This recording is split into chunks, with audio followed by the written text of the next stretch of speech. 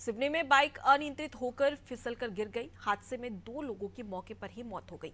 मामला धनोरा थाना क्षेत्र के पिपरिया भसूडा गाँव का है। सूचना के बाद धनोरा पुलिस घटनास्थल पर पहुँची। थाना प्रभारी ने बताया कि प्रथम दृष्टिया बाइक बाइक फिसलने से हादसा हुआ है। फ़िलहाल पुलिस मामले की जाँच कर रही है।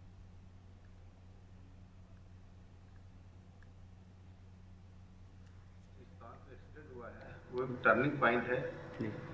टर्निंग पॉइंट में ये लोग अनबैलेंस होके नीचे नाला में गिर के इनकी एक्सीडेंटल डेथ हो चुकी है जो मर कायम कर जाँच में ले लिया गया है।